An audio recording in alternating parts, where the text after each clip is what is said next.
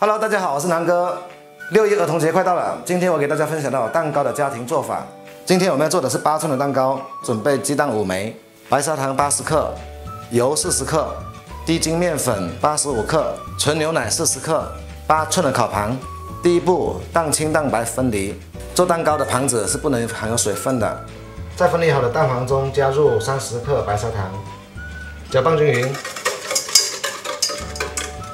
加入刚才称好的油，边搅拌边加，加入纯牛奶，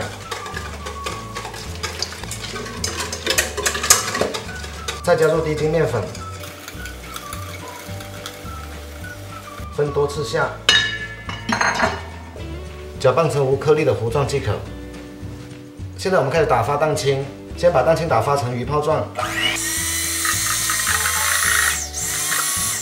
刚开始先用低转速的。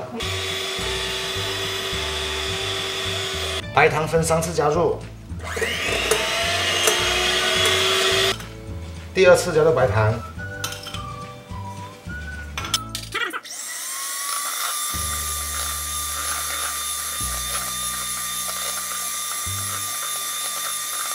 高转速达到蛋清有纹理的时候，加入最后一次白糖，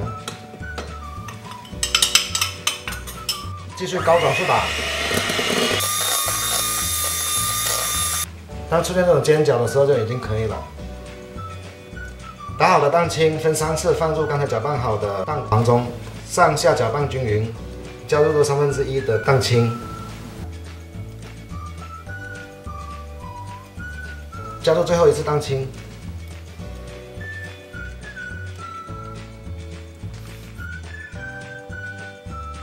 搅拌好的蛋糕液倒入八寸的烤盘中，拿起来稍微敲两下。把里面的大气泡给震掉。烤箱一百八十度预热七分钟，入烤箱一百七十度烤四十分钟即可。十八分钟已经膨胀这么大了，等着吃就可以了。烤够四十分钟了，可以装出来了。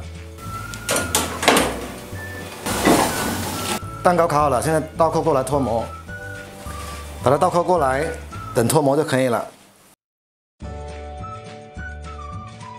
喜欢我视频的朋友，麻烦点个赞。订阅一下，打开下面的小铃铛，谢谢。